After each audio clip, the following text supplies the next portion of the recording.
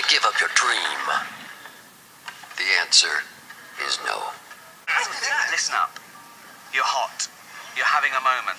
But what is inevitable about a moment? It ends. I don't want this moment to end. That's why we got to get out there now and capitalise on this moment with a capital C.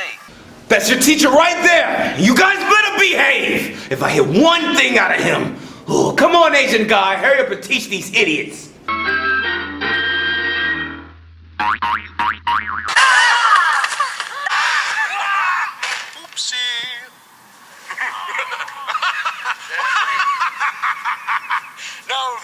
Maniacal laugh.